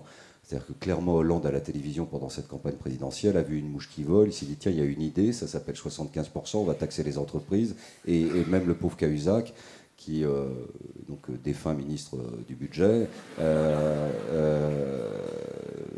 est tombé de l'armoire lorsqu'il avait découvert cette proposition de Hollande à la télévision. Donc il y a quand même une ligne de gauche sur la fiscalité et il y a une ligne de droite sur l'allègement de la fiscalité. Il y a quand même une ligne de gauche sur le poids de l'État, de la sécurité sociale, le partage de l'effort. Et il y a quand même une ligne de droite sur euh, euh, ce que l'on est capable de libérer autour du coût du travail. Mais en revanche, il n'y a pas de programme commun. Cela étant, quand je vois l'échiquier politique, il n'y a qu'un seul programme commun. C'est celui de Mélenchon et de Le Pen. Marine Le Pen et Jean-Luc Mélenchon, et reprenez le détail, ont exactement le même programme. Ils ont les mêmes idées sur la réforme de la retraite à 60 ans. Ils ont les mêmes propositions du renforcement des services publics avec la création d'emplois publics, et ils ont surtout le même programme, qui est de faire péter l'Europe avec la sortie de l'euro. Donc euh, le seul programme commun, c'est celui de Mélenchon-Le Pen. Et on ne fait pas assez ce travail de démontage de ce programme qui évidemment n'apportera que des faillites d'entreprises, un chômage excessif, probablement des misères sociales et peut-être même au rendez-vous de la violence. Comment est-ce que vous expliquez que la, montée des, des, extrêmes ces dernières années, un Français qui vote pour euh, les extrêmes, est-ce qu'il adhère entièrement Est-ce que c'est plutôt un vote contestataire qui va faire Alors, je ne sais pas, il y a des études très savantes là-dessus. Euh, par exemple, euh, les résultats en Autriche la semaine dernière entre une forte poussée du parti d'extrême droite, alors que justement il avait été dans une coalition gouvernementale, il était sorti, il s'était effondré, là il est remonté à 21%. Euh, c'est pas, par exemple, c'est pas un pays qui a été trop frappé par la crise. Ils ont gardé leur triple A très longtemps, ils ont une situation économique à peu près euh, convenable, et pourtant il est très haut. D'un autre côté, regardez le résultat en Allemagne. Madame Merkel a été réélue de manière triomphale. C'est un excellent résultat, c'est une très bonne nouvelle pour la stabilité européenne. Il n'y a pas vraiment de poussée d'extrême droite. Il n'y a pas que l'histoire. Mais la situation économique en Allemagne, vous avez 6% de chômage, vous avez peu de dettes, vous êtes à l'équilibre budgétaire, et il y, a, euh, il, y a, il y a, même un million d'immigrés qui sont euh, intégrés chaque année pour des questions démographiques, parce qu'ils ont une démographie un peu faible en Allemagne, et ça se passe plutôt bien. En revanche, chez nous, la poussée des extrêmes est quand même très souvent liée à la crise, mais parce que le discours général aussi entretient ce sentiment que nos, tous nos problèmes viennent de l'extérieur. Ça peut être l'étranger, ça peut être l'européen, ça peut être la construction technocratique, euh, ça prend la forme de l'euro, ça allait mieux avant. Enfin bref, ce sont des programmes d'une nostalgie d'il y a 50, 60 ans, d'un âge d'or qui n'existe plus. Quand je dis ça, c'est parce que je vais être gentil. Beaucoup se focalisent euh, dans leur programme maintenant sur l'UMPS, justement, que, dont vous récusez la notion mais beaucoup de Français se, posent de plus en plus la question. Euh, de, de le programme se focalise aussi beaucoup sur vous. Et nous, on a une, autre question, quelque chose qui nous a étonné aussi quand M. Copé est venu euh, à AGC Débat. Euh, c'est qu'il nous a dit Moi, si je suis élu président de la République en 2017, je vais gouverner par ordonnance les premiers mois. C'est-à-dire, est-ce que cette décision, et puis aussi on a les déclarations de Nicolas Sarkozy qui dit Je ne ferai plus jamais de politique, mais en revanche, si la France a besoin de moi, je serai là. Euh, et aussi les extrêmes qui, eux, mais c'est traditionnel, attendent un peu que ça explose pour prendre le pouvoir. Euh, est-ce que toute cette, un peu cette effervescence euh, ne montre pas l'incapacité de réforme économique de la démocratie? Non, il y a en tout cas dans, dans la montée des votes populistes, que ce soit du national-populisme avec l'extrême droite qui s'appelle le Front National, et Madame Le Pen peut très bien l'appeler bleu marine, bleu turquoise, bleu de cobalt, bleu azur, bleu jean délavé. Ça restera le Front National. C'est dans l'histoire de l'extrême droite. C'est la construction d'un parti de repli sur soi, de contestation parlementaire, d'une contestation de la construction européenne et au fond d'une vision de l'économie mondiale qui euh, peut-être doit s'apparenter euh, à la définition du clocher de son village. Elle ne comprend pas ce qui se passe et elle n'a d'autres objectifs, mais avec beaucoup plus presque de cynisme que son père, que d'essayer de renverser la table à travers un phénomène naturel. La crise favorise ça. Les difficultés sociales, le chômage créent de l'antagonisme, c'est humain et fait qu'on regarde dans l'assiette du voisin ou qu'on regarde du côté du jardin pour voir si c'est un peu plus vert chez le voisin. Que oui, c'est plus vert, mais c'est du gazon synthétique. Et, et c'est bien la raison pour laquelle ce type de discours, que je qualifie de national-populiste, ou de s'appelle Mélenchon, c'est exactement les mêmes discours. C'est-à-dire surfer sur la misère des gens pour en faire un tremplin politique et renverser la table. Nous avons notre part de responsabilité, puisque les affaires, alternativement, à gauche comme à droite, les partis de gouvernement, le PS et l'UMP. Il n'y a pas de programme commun, une fois encore, entre l'UMP et le PS. Et nous avons notre part de responsabilité dans cette affaire. Mais profondément, euh, et moi, au sein de, de l'UMP, vous le savez, je suis en, en désaccord avec la ligne qui vient, d'être évoquée, je, considère qu'il y a eu une stratégie qui a fonctionné, qui est celle de Chirac. Parce que ça correspondait à ses convictions et parce qu'elle a fait ses preuves. Démontée du Front National, on en a connu. Il y en a eu en 83 euh, avec euh, la première poussée du Front National. Je rappelle que le Front National en 86, avec la modification de la proportionnelle, a eu 35 députés à l'Assemblée nationale en 86. En 98, il y a eu euh, une turbulence que vous n'imaginez même pas. Il n'y avait pas l'UMP, c'était le RPR, ça a secoué très fort. Les types voulaient faire des, alliances. On a été 5-6 à monter au créneau, ça a tenu. Des gens comme Juppé, comme Chirac, comme Sarkozy, comme Séguin, comme Fillon, comme moi-même à l'époque, on était très peu à faire des médias et on a tenu. Et ce barrage étanche fait que ça a fait éclater le Front National en deux. C'est-à-dire que Maigret s'est dit je ne peux pas travailler avec Le Pen parce qu'on n'arrivera jamais à quelque chose. Ça a éclaté. Le Front National a eu déjà la gestion de, communes, au mieux dans les oubliettes de l'histoire, peut-être en situation intermédiaire comme de sable euh, ou de l'eau sur le sable, ou dans le pire des cas, euh, devant les tribunaux. Donc on sait ce que c'est qu'une gestion Front National et on sait ce que c'est qu'une gestion d'extrême droite. Donc moi je suis radicalement mais hostile et contre à toute dérive qui vise à utiliser le même dictionnaire, les mêmes mots, le même vocabulaire, parce qu'au final les gens préféreront toujours l'original à la copie. Sur le plan de la sensibilité politique. Et puis pour le reste, c'est absurde, parce que ça ne correspond pas à notre projet. Il y a de l'agacement dans la société à l'égard des partis de gouvernement ou à l'égard de la dureté de cette crise, qu'il faut euh, euh, se laisser aller, laisser ses valeurs, euh, son enracinement, ses convictions. si on fait de la politique, c'est qu'on aime l'histoire. Si on aime l'histoire, on croit à la profondeur de champ de ses courants de pensée. Et s'il y a bien quelqu'un qui disait ou qui a voulu euh, favoriser la défaite de Chirac, c'est bien Jean-Marie Le Pen. Et s'il y a bien quelqu'un qui a largement contribué à l'arrivée de la gauche au pouvoir, c'est bien Marine Le Pen par son abstention. Donc moi, je n'ai peur ni du Front National, ni de leur discours. Je les combats et je les combattrai toujours. Mais je les combattrai toujours en essayant de peser dans ma famille politique pour faire en sorte que ce barrage redevienne étanche. Et là, c'est vrai, je l'ai dit dans des interviews il y a peu de temps, que cette porosité euh, ne fait que donner un peu d'énergie dans une période difficile. Mais pour conclure, la réponse, elle doit être d'abord économique, car c'est de l'économie, de la création de richesses et de la création d'emplois qu'on arrivera à, réduire progressivement l'impact de ces discours politistes. Euh, bah, je ne suis pas gagné, oui, vous le dites, mais enfin bon, on a le droit d'espérer quand même. Et puis, euh, et puis non, non, moi je crois, je crois à la force des mots, je crois à la force de la politique, je crois, je crois à la force de la conviction, je, crois que les gens, je, je crois à l'efficacité de la proposition dans le discours public de fixer quelques repères pour que les gens puissent s'y raccrocher, tenir bon, euh, et puis ensuite on sera un peu plus calme de retrouver soi-même euh, sa propre, son propre navire. Excusez-moi de revenir sur un point, mais j'ai pas très bien compris.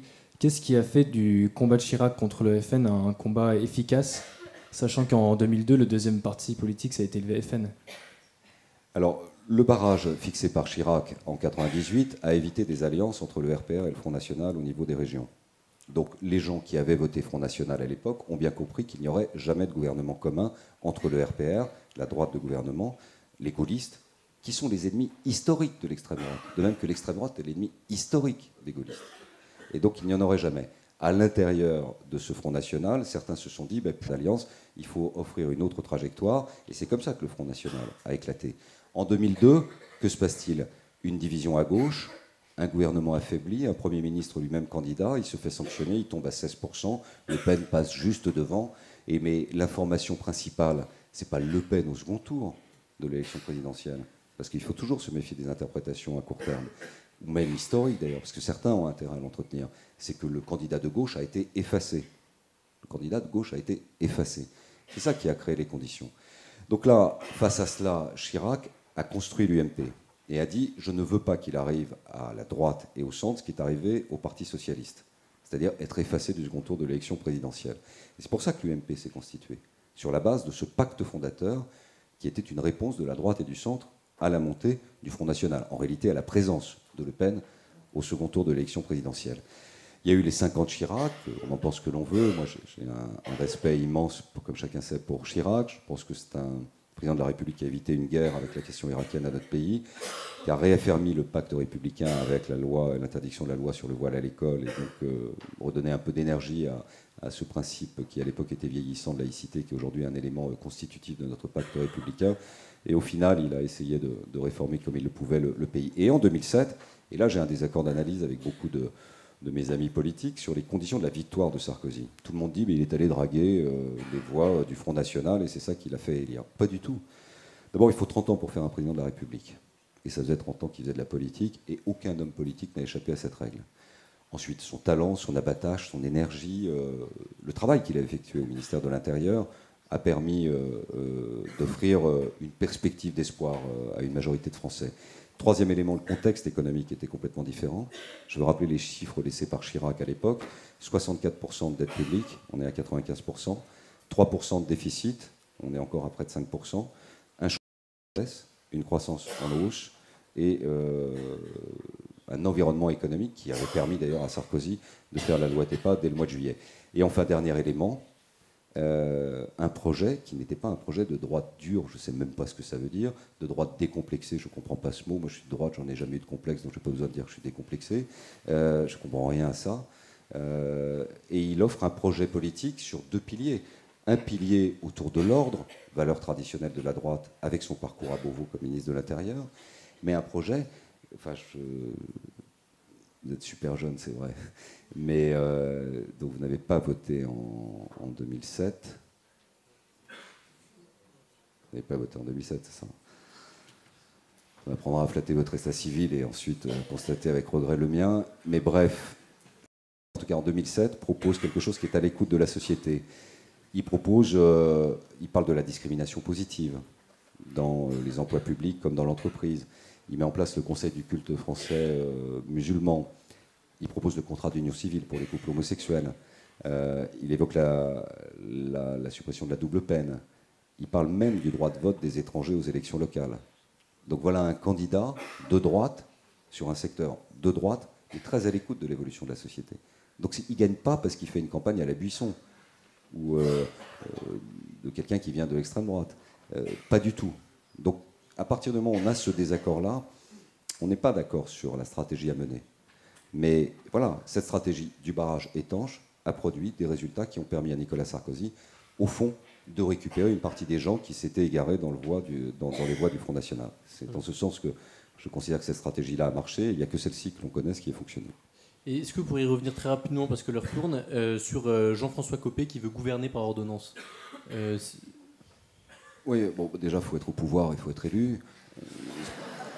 Ensuite, euh, ensuite, par ordonnance, on ne peut pas d'un côté euh, valoriser le renforcement du travail parlementaire, avoir voté la révision constitutionnelle qui a donné plus de pouvoir au Parlement pour un peu rééquilibrer notre régime qui donne un pouvoir considérable à un seul homme, mais parce que c'est le seul, le président de la République, à avoir l'onction du suffrage universel, et, et d'un autre vouloir gouverner par euh, ordonnance.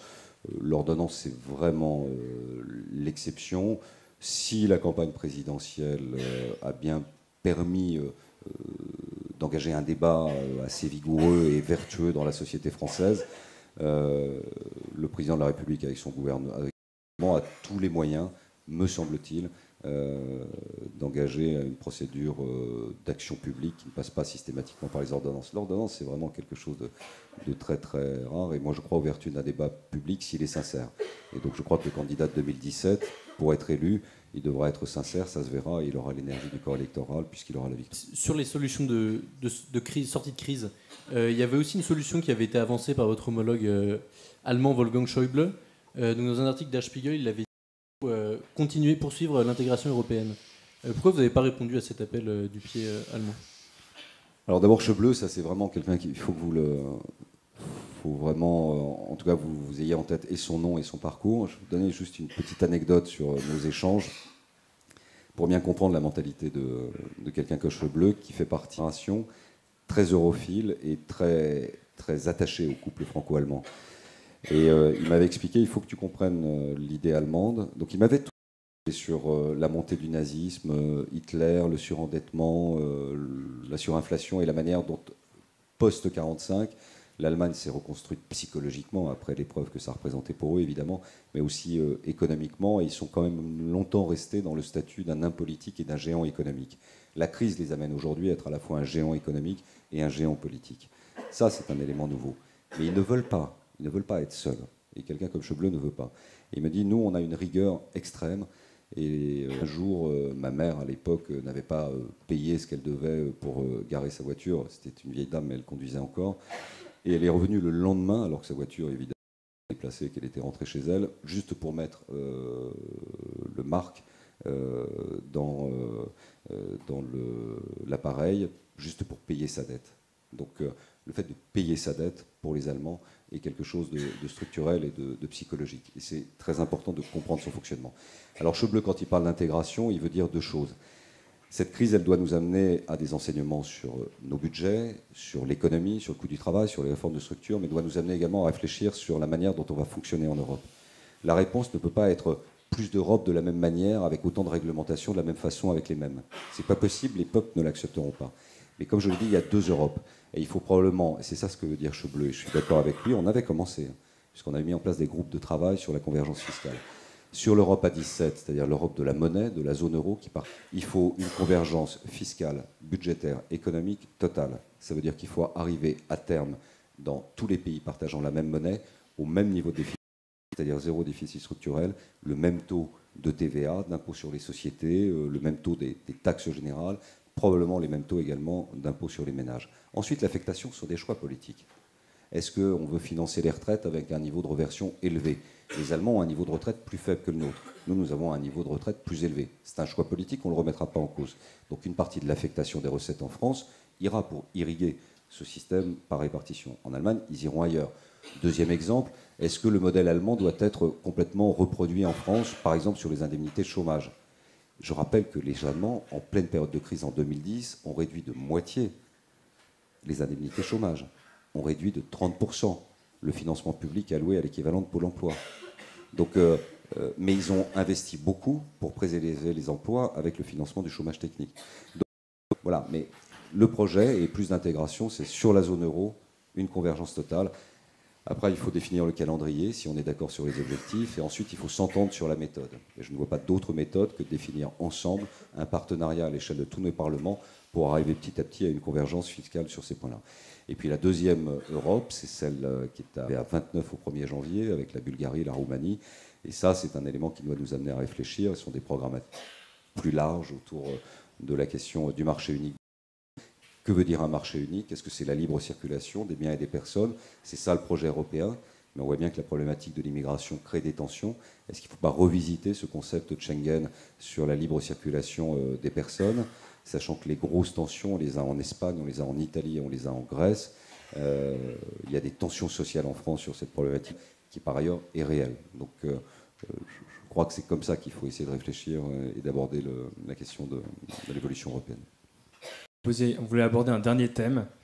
Vous avez été à la fois acteur et aussi témoin de, euh, pendant cette crise, et vous avez assisté à de nombreux sommets internationaux. Quel, était, quel rapport de force se dégageait de ces rapports internationaux? Est-ce que c'est différent de ce qu'on lit dans la presse? Est-ce que par exemple on exagère le pouvoir des pays émergents? Qui est vraiment le, leader euh, dans ces sommets-là, vu de l'intérieur? si on prend les uns après les autres, oui, les galeries de portraits, c'est toujours intéressant parce que la psychologie d'un homme, d'un chef d'État ou de chef de gouvernement dit beaucoup aussi de, de la culture diplomatique. Euh, on ne va pas dans 300 ou décroissant. Bon, je vais parler d'Obama. Bon, Obama, euh, c'est. Bon, d'abord, il il, est, vachement grand, il faut dire les choses. Il est très très grand, il a des très grandes mains. Euh, il a une super bonne gueule. Il a un regard bien droit dans les yeux, euh, chaleureux, pas dur, il n'en impose pas. Et dans la méthode de négociation, c'est d'abord et avant tout un intellectuel. Donc c'est quelqu'un qui conceptualise euh, la situation qu'il a à gérer.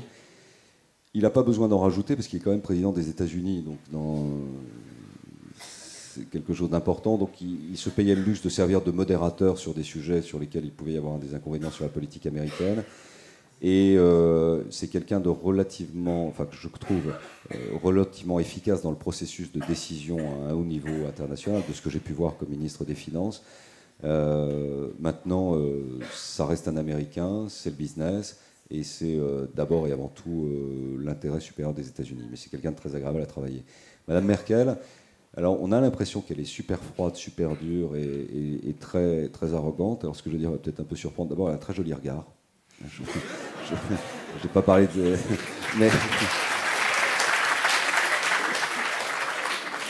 Ensuite, c'est une femme qui n'est pas aussi sûre d'elle que cela, en ce sens qu'elle a un tel profond respect pour le processus très long de décision avec le fonctionnement institutionnel allemand qu'elle ne prendra ou elle n'imposera ou elle ne décidera jamais toute seule. Elle ne dira jamais oui tout de suite ou non tout de suite, sauf si ça a été complètement borduré euh, par les diplomates, mais c'est très rare. Il, faut que je passe devant la commission des finances du Bundestag, et puis euh, il y a la cour de Karlsruhe, et puis il faut que je vois avec mon gouvernement, et puis j'ai des partenaires à l'intérieur de ma coalition, les libéraux.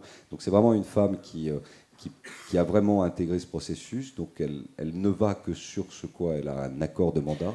Donc elle ne prend pas d'initiative au-delà du mandat qui lui est confié. C'est d'ailleurs pour ça qu'elle est très solide politiquement. Et enfin, elle peut avoir des fragilités. Moi, j'ai vu j'ai vu Merkel euh, euh, au moment de cette période hallucinante du G20 euh, sous présidence française, où quand même et Berlusconi et Papandreou, deux chefs de gouvernement, sont tombés en temps de paix uniquement parce que Merkel et Sarkozy leur ont dit écoute, ça ne peut pas continuer comme ça. Ils sont tombés. C'est des chefs de gouvernement qui sont tombés. J'ai vu Merkel quand même vaciller, et donc c'est une femme qui, qui a une sensibilité qu'elle peut laisser exprimer, y compris dans des relations internationales de ce niveau. Ensuite, sur le reste de ce que j'ai retenu, les Chinois, c'est très intéressant et je, ne peux que vous encourager évidemment à, y aller le plus vite possible pour comprendre l'horizon des Chinois, leur fonctionnement, leur culture. D'abord, c'est une très vieille civilisation, un très vieux pays et comme tous les très vieux peuples, très fiers et qui ont une très longue histoire, dans leur culture asiatique, leur fonctionnement n'a rien à voir avec le fonctionnement occidental ils n'ont pas du tout le même regard que nous dans le processus, là aussi, de décision, soit diplomatique ou d'action ou de contrat, ce genre de choses. Leur horizon, ça s'apparente à, des hommes d'église ou à des forestiers. C'est-à-dire c'est un cycle euh, de 80 ou 100 ans, et eux, ils travaillent sur deux, trois générations, et donc euh, euh, il ne faut jamais les brusquer, brusquer, il ne faut jamais les mettre en difficulté devant témoins, jamais. Ça, c'est quelque chose d'absolument inacceptable. Contrairement à ce que l'on pense, il ne faut pas tourner autour du pot, il faut leur dire ce que l'on attend mais il faut le dire euh, euh, en connaissant et en ayant intégré leurs paramètres de calendrier. La gestion du temps, l'approche du temps, c'est vrai chez les Chinois, ça l'est un peu moins chez les Japonais, qui se sont un peu plus occidentalisés, mais enfin malgré tout dans leur processus c'est un peu ça. Ça l'est tout autant chez les Indiens. Et, et dans les émergents, euh, je crois que c'est ce groupe-là qui s'apparente à l'approche du temps et, bien gérer cela. Après, dans les émergents sur euh, Brésil, Russie, euh, Afrique du Sud, qui sont trois continents différenciés, les Russes, c'est assez cash quand même, il hein, faut dire les choses. c'est assez cash. les Sud-Africains, c'est un peuple extraordinairement fier, avec des diplomates intelligents, ils ont beaucoup de matières premières, beaucoup de richesses en fait les plus heureux, mais c'est là où on s'aperçoit que l'histoire est dans la géographie, que l'économie est dans l'histoire, qui est elle-même dans la géographie, c'est quand même les Australiens. Il fait beau tout le temps, ils ont de l'or, ils ont du pétrole, ils ont de l'argent, ils ont du nickel, ils ont du fer, ils sont 20 millions, c'est grand comme un continent, il y a des kangourous, ils tapent... Euh, enfin bon, euh, et je dois dire que les Australiens se posent assez peu de questions, et ils sont en plus dans une zone d'abondance où le taux de croissance en moyenne est entre allez, 4% pour les mauvaises années et 7-8%. Ils ont juste une petite peur, c'est une invasion chinoise. Bon, euh, mais pour le reste, c'est des gens assez heureux et ça se voit assez largement dans les négociations internationales, car j'ai toujours en mémoire le sourire permanent du ministre australien, quelles que soient les difficultés. Nous, il fallait sauver l'euro, on était accablés, on est jusque-là. Le mec toujours bronzé, sympathique, les dents blanches, du surf en rentrant chez lui. Merci beaucoup. On va passer à un jeu de questions-réponses avec des réponses assez rapides. Donc là, on va vous demander de caractériser par un les hommes suivants. Non, mais, non, mais il y a votre caméra, il y a les trucs, tout ça. C'est très rapide. C'est lamentable. Vous êtes fiers de votre truc. D'accord, vous êtes à chaussée, vous avez une belle cravate, mais vous êtes fiers. François Hollande. Bon, je cite un auteur, Laurent Fabius, une phrase des bois. Très bien, François Hollande.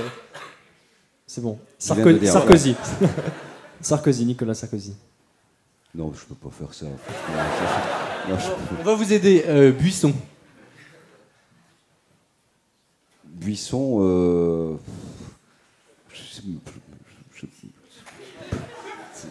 non mais j'essaie d'imaginer. Bon Sarkozy, je mets de côté, j'ai du respect, c'était mon président, j'ai bien aimé bosser avec lui. Buisson, je, vois, je vois en plus à peine la tête qu'il a. Euh, je ne sais pas, euh, c'est un poisson lune. Monsieur Bernard Amanonsou. Il a un petit côté chinois. Quand même. Alors c'est pas animalier, mais mais il a. C'est pas un légume, oui, oui. Ah non, un légume Non, je peux pas non plus. Non, mais c'est vraisemblable ce que vous me demandez. C'est-à-dire j'ai le choix entre euh, le ridicule, l'humiliation ou l'insulte. Entre un tête-à-tête avec Angela Merkel et un best western avec M. Ramanansou, vous choisissez quoi? Oui, oui, la deuxième option quand même. Hein. Quand vous saluez Obama euh, dans, un, dans un grand euh, colloque international, vous lui faites quoi? Un check, un hug, une bise?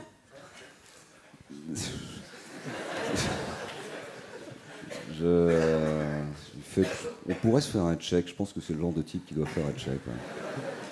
Après une grosse faillite ou un gros crack financier, vous faites quoi pour vous détendre?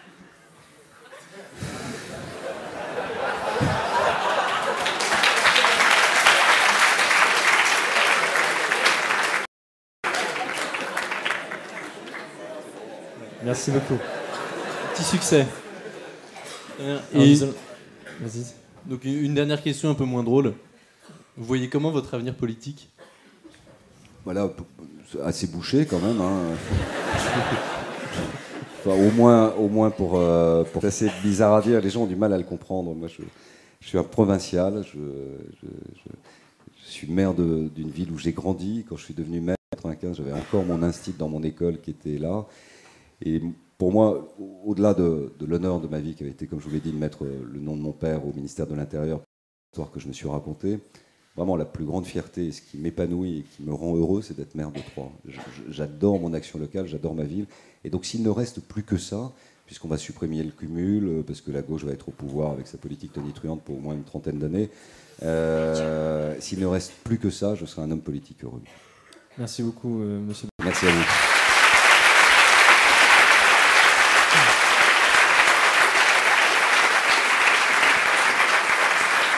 Trêve, trêve de plaisanterie.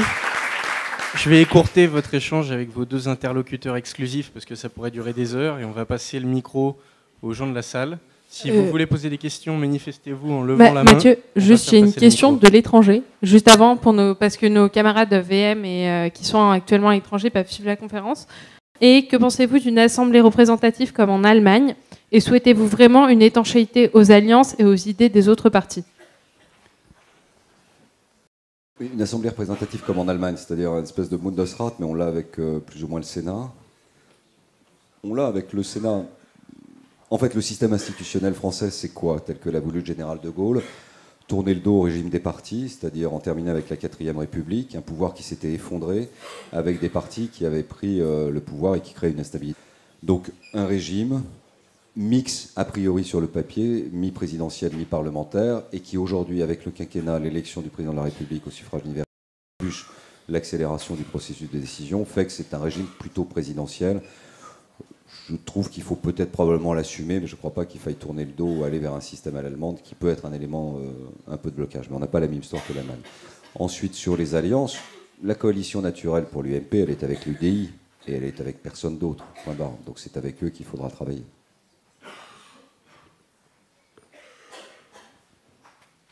Il y, a un virus qui traîne, non C'est. Euh,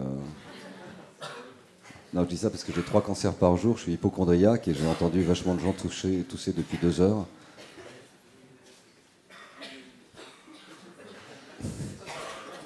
Ah pardon.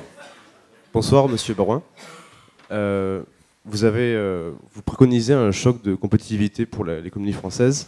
Enfin, désolé de revenir à un thème un peu plus prosaïque, mais au sein de l'UMP, qui est une famille qui, rassemble toute la droite dans toute sa diversité, est-ce que vous considérez euh, plutôt un libéral, un conservateur ou un mélange des deux ou autre chose? Je suis euh, conservateur sur ce qui me semble marcher, je suis assez pragmatique là-dessus. Moi, je ne suis pas un doctrinaire, je ne suis pas un idéologue. J'ai inscrit mon, action politique au fond un peu dans, l'atavisme et les valeurs familiales autour du gaullisme, c'est-à-dire une certaine gaullisme, c'est un pragmatisme au service des temps, mais sur deux, trois idées simples.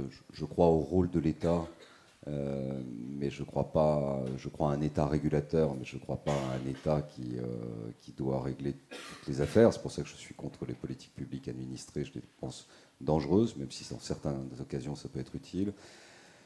Je crois évidemment au pacte républicain, une certaine idée de la voix de la France dans le monde. Sur le plan économique, je suis euh, libéral, mais je ne suis pas pour la liberté du renard dans le poulailler, c'est-à-dire la loi du plus fort. Donc il faut quand même fixer des règles.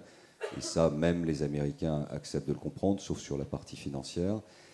Euh, sur le plan social, je suis à l'écoute de la société. Euh, ouais, je suis à l'écoute de la société. J'ai des enfants qui ont votre âge. Donc, euh, de toute façon, si j'écoutais pas la société, je serais obligé d'écouter mes enfants. Donc, je suis même obligé de comprendre ce qui se passe. non, je crois que je suis plutôt, moderne et plutôt, tolérant. Mais voilà, pour résumer, je ne suis pas un libéral au sens ultra-libéral du terme qui, qui fait que, notamment à travers la crise qu'on a vécue, je pense que si l'État n'avait pas été là, probablement que les banques et certainement que l'économie se serait effondrée. Donc je crois quand même aux vertus d'un État qui puisse intervenir in fine. Juste un exemple, si d'aventure euh, avait dû sortir de l'euro, ça aurait été une secousse tellement forte, mille fois plus forte que les Man Brothers, que probablement les États auraient été amenés à nationaliser les banques. Et donc s'il n'y avait pas un État encore assez puissant, euh, eh bien, euh, il n'y a plus de rempart du tout. il n'y a plus de rempart contre soit la loi du plus fort, soit le désastre social et donc de la violence.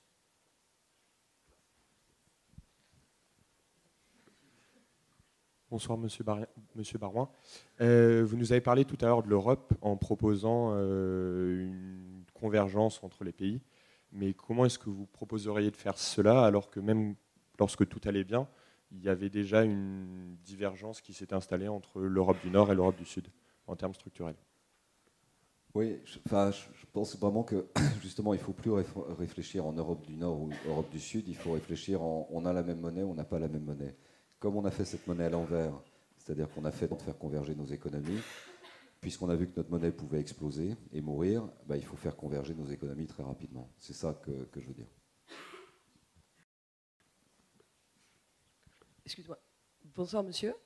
Euh, moi, j'ai une question, encore une fois, à propos de l'Europe. Vous avez beaucoup parlé du cadre européen, vous avez beaucoup parlé de la montée des populismes. Et avec les, élections européennes l'année prochaine, je voulais savoir quel angle d'attaque pouvait avoir l'UMP pour limiter le score du FN entre les propos de certains leaders qui sont plus qu'ambigus euh, quant à la position à avoir par rapport à ce parti, euh, entre le, manque de confiance issu de la catastrophe de l'élection du président de l'UMP et votre rôle d'opposition face au gouvernement socialiste. Déjà, je pense qu'il faut que vous veniez parce que votre synthèse est juste parfaite.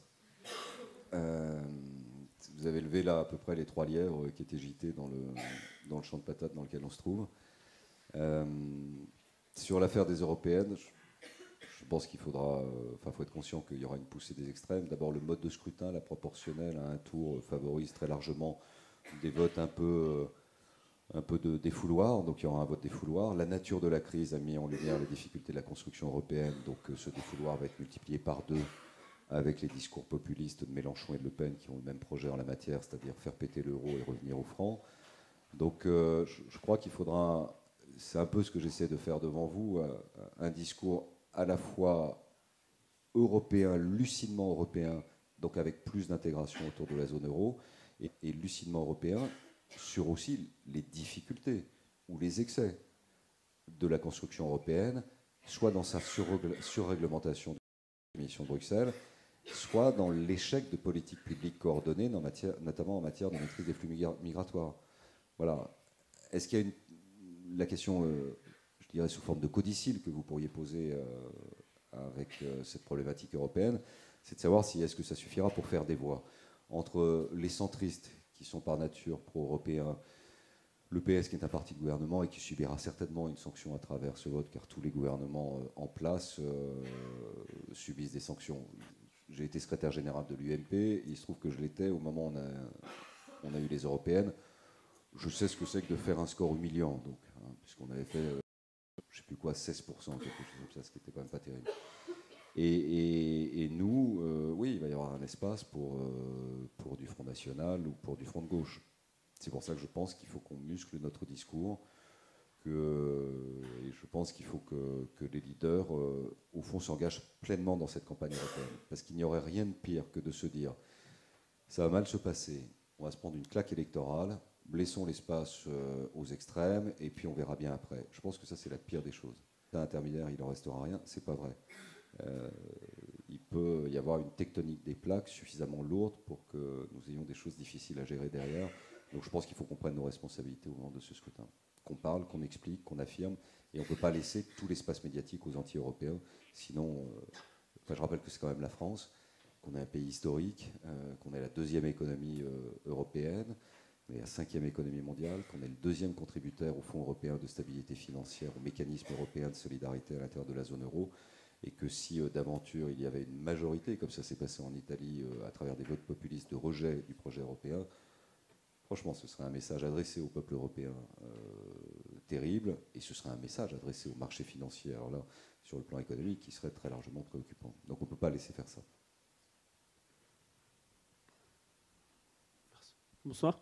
J'aurais deux questions. La première sur le Royaume-Uni et et sa place dans l'Union européenne on l'accuse souvent d'entraver un peu les décisions qui sont prises dans l'Union européenne. Est-ce que pour vous, ce sera envisageable de mettre un peu à l'écart euh, ce pays? Et la seconde question, ce serait euh, proposé avec une convergence euh, de la zone euro et, donc les autres pays. Est-ce qu'on ne pourrait pas envisager de, de créer deux monnaies? Je crois que c'est Joseph qui proposait ça, puisque le taux de change, c'est quand même une question importante, et c'est un, outil de compétitivité. Et donc, est-ce qu'on ne pourrait pas également explorer cette piste? Merci. Oui, bah, Stiglitz, euh, je l'ai rencontré, c'est évidemment un homme intelligent, il prix Nobel d'économie, donc on s'incline avec respect et, déférence. Cela étant, il fait partie de ceux qui n'ont pas largement favorisé nos politiques d'accompagnement, la zone euro. Il y a un truc que j'aime bien dans Stiglitz, c'est son idée d'intégrer le facteur social ou une certaine idée du bandeur qu'on devrait quantifier dans le calcul du produit intérieur brut. Je trouve c'est intéressant. Je trouve ça intéressant parce que euh, la richesse, elle n'est pas que statistique, elle peut aussi être dans un cadre de vie, dans un environnement immédiat. Euh, enfin, voilà. Pour le reste, j'achète pas toutes les idées de, Stiglitz, hein, pour vous dire franchement les choses. Euh, et puis après, ce que je vous ai dit sur les, experts du FMI, je les respecte énormément, euh, mais je ne les tiens pas comme étant la boussole de ce qu'il faut faire. Parce que ça nous a quand même coûté cher. Et je leur en veux un peu d'avoir euh, imposé ce rythme effréné de réduction de déficit et d'avoir changé de doctrine derrière. Donc c'est de notre faute, hein. on n'aurait peut-être pas dû s'aligner, mais on n'avait pas forcément les moyens pour le faire. Donc sur la, sur la partie européenne, bon, je reviens à, ce que j'ai dit hein, sur, le, sur le découpage. La première question, c'était sur quoi, pardonnez-moi? Royaume-Uni, oui. Est-ce qu'on peut les mettre de côté? C'était ça, enfin, j'exagère un peu, mais enfin bon. Écoutez, je, pense que ce serait un désastre pour l'Union européenne, pour le projet européen, que les Britanniques n'y soient pas. Historique, et je pense que c'est important. Même si, même si les Britanniques sont évidemment toujours euh, des gens qui ne favorisent pas la négociation, ils pensent à leur intérêt, et diplomatiquement c'est compliqué. Et je peux vous dire que nous, on s'en est mis mais plein la tête avec euh, le ministre des Finances britannique. Euh, c'était le traité budgétaire, on s'en est mis plein la tête. Parce que, et en même temps, on se respecte énormément. Si vous voulez, c'est vraiment, que, c'est vraiment les, France-Angleterre en rugby, quoi, y compris dans les négociations internationales. C'est-à-dire, il y a une espèce de, d'amour, passion, gêne, euh, parfois euh, détestation qui est hallucinante. Moi, j'ai un immense respect, mais on s'en est mis mais plein la tête. Le, président de la Banque centrale euh, britannique avait expliqué que la situation française était délabrée. Donc ça avait un peu chauffé les oreilles du gouverneur de la Banque de France, qui était monté au créneau pour dire que le président de la Banque d'Angleterre disait vraiment des âneries. Donc là, ça avait commencé à faire la deuxième page des tabloïds.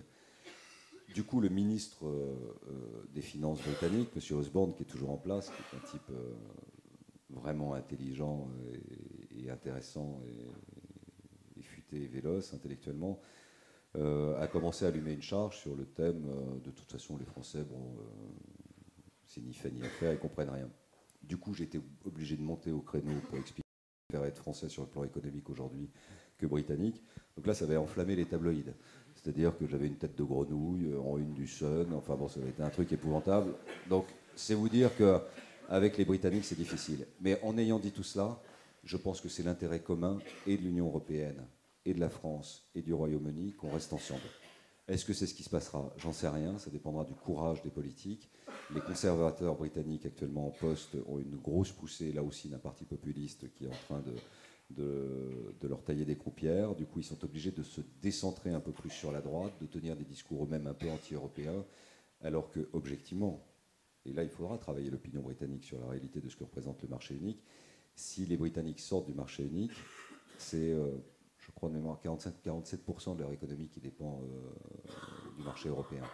C'est-à-dire que ce sera un effondrement immédiat, puisque derrière, c'est, on rentre plus dans une logique de marché unique, on rentre dans une négociation internationale avec l'application de, l'OMC. Donc ce sera d'une nature tout à fait différente, et donc ce sera très compliqué pour eux. Donc je pense que ce sera une très mauvaise nouvelle pour tout le monde.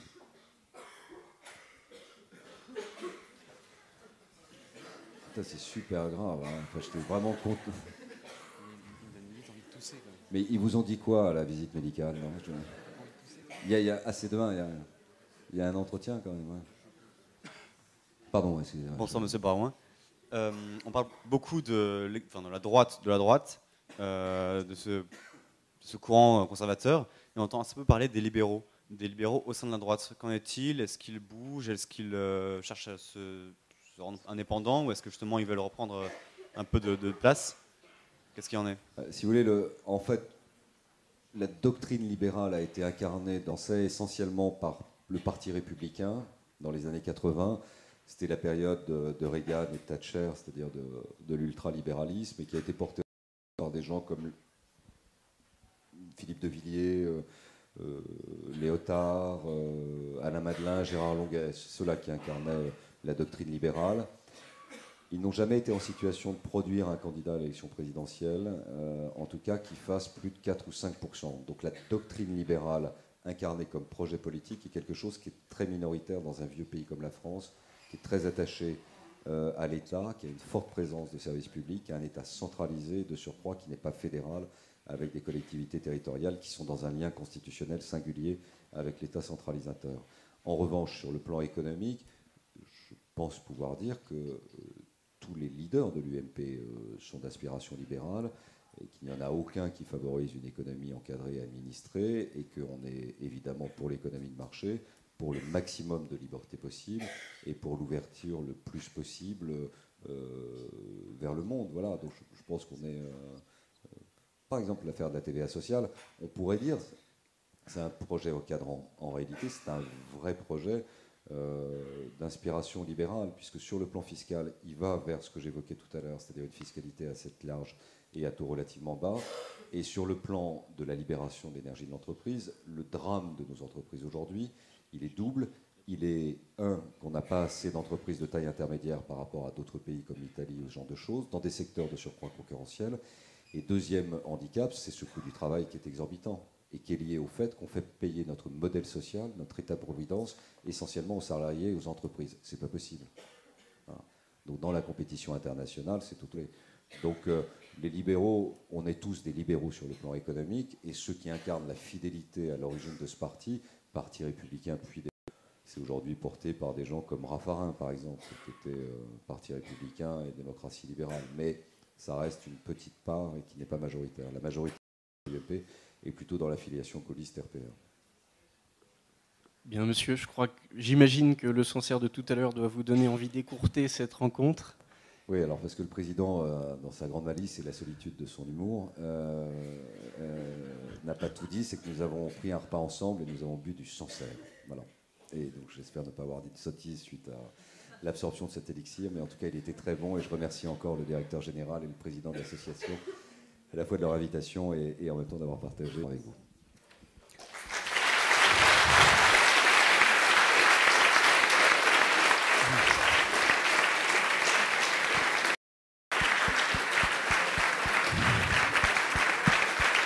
Au nom de tous mes camarades,